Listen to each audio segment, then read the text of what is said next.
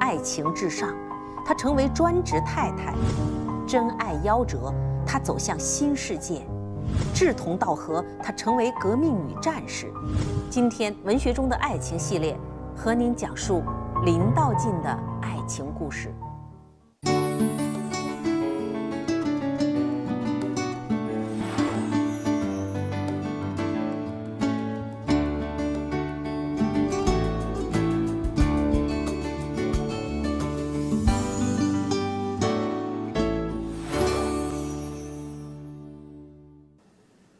读本好书，听段故事。大家好，我是尹颂。九十多年前，十七八岁的女学生林道静离家出走了。当时的她就像娜拉一样勇敢，只为追求爱的自由和解放，却不想从此走出一个崭新的自己。今天，我们一起分享这部小说《青春之歌》，一起来读林道静的故事。《青春之歌》是一部怎样的作品呢？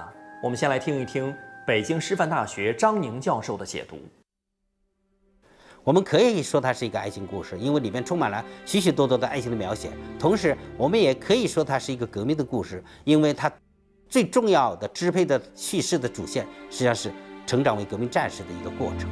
这两者交织在一起，就变成了一个具有红色爱情色彩的一个长篇经典。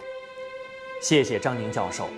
本书带有作者杨沫的自传色彩，故事的背景是九一八事变到一二九运动的爱国学生运动，通过林道静的三段恋情，表现出了她从小资产阶级知识女性到无产阶级革命者的觉醒过程。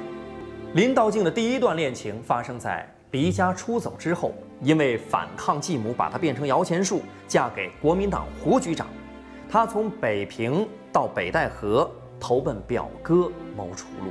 当他背着行李，带着各种心爱的乐器，身着白旗袍，一副文艺女青年的模样，到了表哥所在的小学，却扑了个空。后又因长相姣好，被收留他的校长算计。性格刚烈的他走投无路，选择投海自尽。但林道静被北大学生于永泽救了。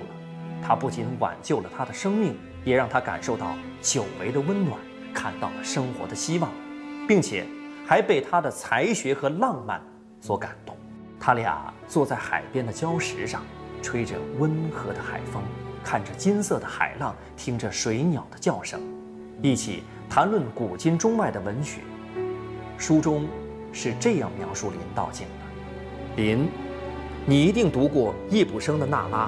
冯元君写过一本《隔绝》，你读过没有？这些作品的主题全是反抗传统的道德，提倡女性的独立的。可是，我觉得你比他们还更勇敢、更坚决。林道静的心里渐渐充满了一种青春的喜悦，一种绝处逢生的心性。对于永泽，除了有着感恩知己的激情，还加上了志同道合的钦佩。他简直把他看作理想中的英雄人物了。于永泽是一个有着自由、平等、博爱精神的年轻人，他呢对林道静是一见钟情，就像骑士一样出现在了他的生活中，不仅给了他缺失的关爱，还唤醒了他爱的意识和对人性的思考。被爱情俘虏的林道静后来回北平做了于太太。如果说安于现状，他可以生活的相当美满，可是呢，林道静是一个渴望自由、渴望独立生活的人，家庭主妇的日子让他感觉到沉闷、窒息。而尤其使他痛苦的是，于永泽并不像他原来所想的那般美好，他那骑士兼诗人的超人风度在时间面前也渐渐全部消失。原来。他是一个自私的、平庸的、只注重琐碎生活的男子，爱情幻想破灭，生活就像死水。林道静非常的茫然，难道中国妇女的出路就只是当太太吗？这是一个时代的呐喊，它提醒当代女性独立的重要性。卢家川的出现拯救了林道静。在作者笔下，卢家川是一个理想化的人物，他机智勇敢、热情洋溢，是彻底的革命者。他很小就接近了革命，理论知识、思想认识以及斗争意志是在李大钊的培养下成长起来的。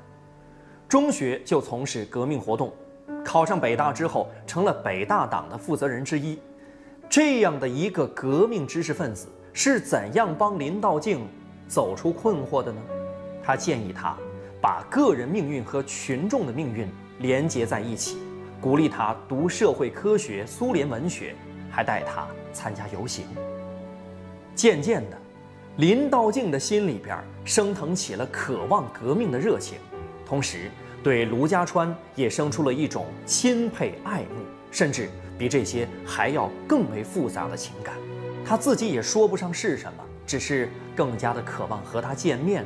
也更加希望从他那儿汲取到更多的东西。读到这儿，我们已经看到了林道静的变化，不仅是思想上的，还有爱情上的。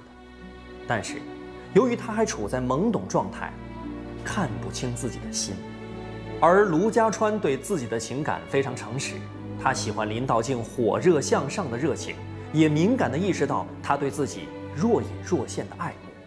他很想对他说出自己的爱恋，但为了不影响他们夫妻关系，他控制了自己。应该说，卢家川的爱很重，重的只能隐藏到心底。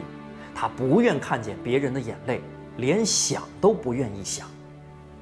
林道静和于永泽最终因政治分歧而分手，而卢家川却被捕了。在那一刻，林道静才明白，他爱上他了。后来，他收到卢家川托人转给他的绝笔信，信中说：“可惜，我们已经不能再在一起工作了。在这最后的时刻，我很想把我的心情告诉你。不，还是不要说他的好。只可惜，可恨刽子手们夺去了我们的幸福。这是一场纯粹的、没有开始就夭折的精神恋爱。”林道静说：“我不会忘掉他的，永远不会。”有人曾质疑，林道静是因为革命爱上卢家川，还是因为卢家川爱上革命呢？我觉得可以这样理解：卢家川是林道静的精神导师，他为他打开了新世界的大门。他们是隐藏了爱情的战友，彻底把林道静引领到革命道路上的是和他。并肩战斗的江华，这江华和卢家川是同学加战友。和卢家川相比，他更加的稳重，更加的成熟，看起来平凡低调，却坚毅而果敢，值得依赖。他对林道静呢，那是亦师亦友，一直默默的喜欢着他，哪怕在知道卢家川牺牲的消息之后，也没有马上表现出对林道静的爱。但他从没被这样强烈的爱情冲击过，最终屈服了。书中写道：“他抬起头来，轻轻地握住站在他身边的道静的手，竭力克制住身上的战栗，率直地低声说：‘道静，今天找你来，不是谈工作的，我想来问问你。你说，咱俩的关系？’”